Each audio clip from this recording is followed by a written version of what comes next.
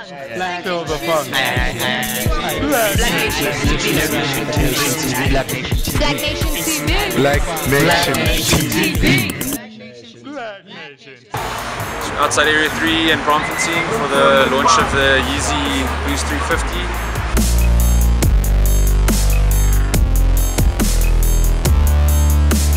Twenty minutes. We're gonna like turn this queue into a very specific queue, and we're gonna hand out some tickets.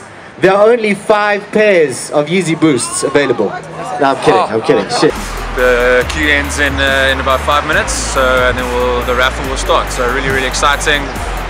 Got a few hundred people queuing uh, to get stuck into the product. So yeah, this is the first for Johannesburg. We have thumbs up. Number one. and uh, you know, definitely awesome for the brand.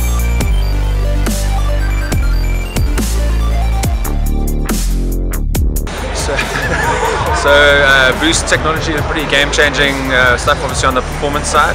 Launched as uh, as the ultimate running shoe, and now really being taken into into the lifestyle space just because of its uh, endless energy properties and its comforts and that kind of like tech fashion uh, like a trend that exists at the moment. It just lends itself to to awesome sneakers, super comfortable, you know, and still giving you that like that good performance and uh, fashion look.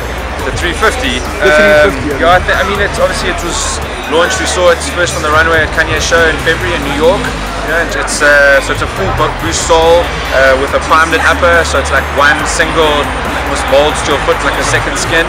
So from a technology point of view, those are two like really good technologies, um, game-changing stuff from the brand, and then it's just executed in a super fashion silhouette. So really comfortable, super easy to wear, um, and just an amazing product. Bringing that, like I said, bringing that fashion and uh, performance uh, together in, in one shoe. It's, it's amazing.